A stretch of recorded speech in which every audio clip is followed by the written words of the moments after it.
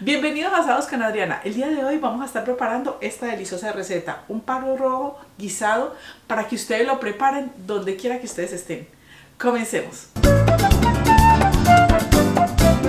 Los ingredientes que vamos a utilizar el día de hoy son eh, un pardo rojo o como le dicen en Estados Unidos, red snapper, perejil, un pimentón eh, mediano naranjado o rojo, el que tengan, dos tomates, dos dientes de ajo, eh, sal la necesaria, eh, media cucharadita de comino, media cebolla cabezona mediana morada, una cucharadita de caldo de pescado, media cucharadita de pasta de ajo, dos tallos de cebollín o cebolla larga, dos papas, y una yuca partida en cuatro pedacitos. También vamos a estar utilizando lo que es eh, color, el colorante que ustedes tengan. Este dice que es para pescado también, pero ustedes pueden utilizar el colorante que tengan en su casa.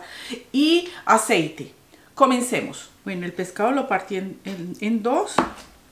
Voy a mostrar que está muy grande. Lo partí en dos y le, voy a hacer unas zanjitas así para que le penetre bien el sabor.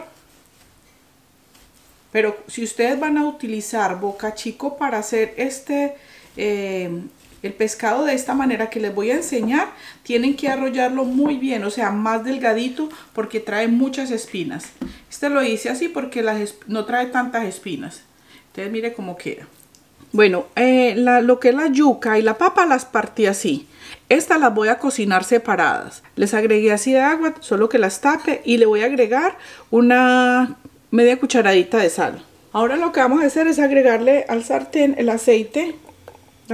a este le voy a agregar unas cuatro cucharaditas de aceite. Ya el aceite está caliente, entonces vamos a empezar agregando la cebolla. Esta es la cebolla de cabezona morada. El ajo. Dos dientecitos de ajo. Y una partecita de la cebolla de Le vamos a agregar una pizca de sal. Un cuartico de sal solamente. Un cuartico de una cucharadita porque como le vamos a agregar el caldo de pescado ese tiene sal. Entonces tenemos que tener cuidado con la sal. Agregamos el pimentón.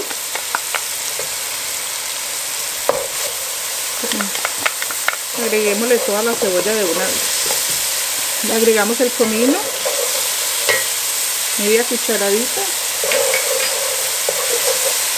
el tomate el caldo de pescado el caldo de pescado también lo pueden omitir lo pueden eh, si quieren se lo echan y si quieren no o sea lo pueden omitir. Y le pueden echar caldo de pollo ustedes pueden decidir cuál de los dos. Caldo de pollo o caldo de pescado.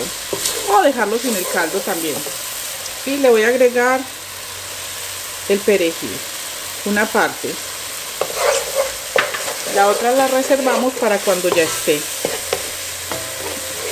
el que no le guste el sabor del perejil puede agregar, agregarle cilantro y le queda muy rico también. Vamos a agregarle lo que es el, sazón, colorante que tengan ustedes. Puede ser tri completo, puede ser uh, triguisal. Y vamos a agregarle la pasta de tomate. Si no tienen pasta de tomate, échenle en salsa de tomate. Vamos a dejarlo sofreír ahí por unos dos minutos más. Y luego les muestro qué más Bueno, ya el guiso está. Entonces lo que vamos a hacer es agregar el pescado. Ahí. Lo bañamos con el guiso. Y agregamos la otra parte. El pescado siempre está muy rápido entonces tienen que tener cuidado para que no se les vaya a quemar lo van a tener a una temperatura de medio bajo y en este punto le vamos a agregar un poquito de agua en este caso le voy a agregar una tacita nomás algo así ya lo vamos a tapar y vamos a esperar eh, unos 10 minutos y les muestro. Vamos a, a mirar cómo va el pescado. Vamos. El pescado ustedes no lo van a voltear. ¿Por qué? Porque se les va a partir, se les deshace. Lo que hacen es que le echan así la salsa encima. Lo bañan así bien bañadito. Y lo dejan ahí que se cosa. Han pasado nada más como 5 minutos. Lo voy a dejar otros 5 minutos y ya va a estar. Vamos a ver cómo va nuestra papa y la yuca. Para que sepan que está blandita. Entonces ustedes le colocan un tenedor. Esta ya está y la papa ya está. Entonces ya la podemos apagar. Casi se lleva al mismo tiempo que está el pescado y la papa se lleva en el mismo tiempo de cocción. Así en ollitas separadas.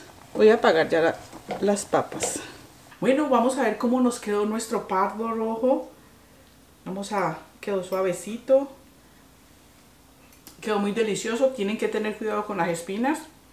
Y miren nuestra papa. Ustedes le echan el guiso lo comen con el pescado, lo acompañan. Mm, ¡Qué delicia! Yo les voy a dejar dos videos aquí para que ustedes vayan y los miren. Sigan preparando todos los videos que yo les estoy preparando. Y yo me quedo disfrutando de este delicioso parro rojo.